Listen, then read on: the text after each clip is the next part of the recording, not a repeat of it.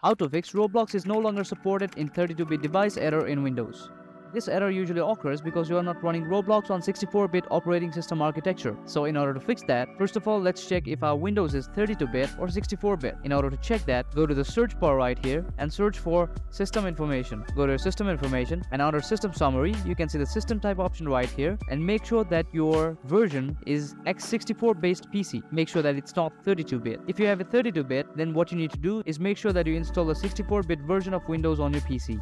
But if you are running 64-bit, then first of all, go to Task Manager by holding the Control, Shift and Escape button. And after your Task Manager opens up, then go to Roblox right here, right click on it and make sure that you click on End Task, which will end all of the Roblox related tasks such as shader and modes, which might alter game files before loading into Experience. And the next thing to keep in mind is that you have your Windows up to date. Go to Settings, and if you have any Windows update, then make sure to click on Windows Update and click on Check for Updates. If you have any updates available, then make sure that you install the updates, which will fix your problem of Roblox not being supported on 32-bit devices as well. But if the problem still persists, then what you can simply do is instead of playing the web version of Roblox, you can simply go to your search bar, search for Microsoft Store and install the Roblox from Microsoft Store and play the Microsoft Store version of Roblox.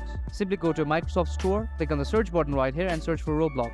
And after you're led to this page, then click on Get, which will install your Roblox and you can enjoy the Roblox without any obstruction. So that's it. These were the methods on how you can fix Roblox no longer supported on 32-bit devices. Hopefully you found this video helpful. Thank you very much.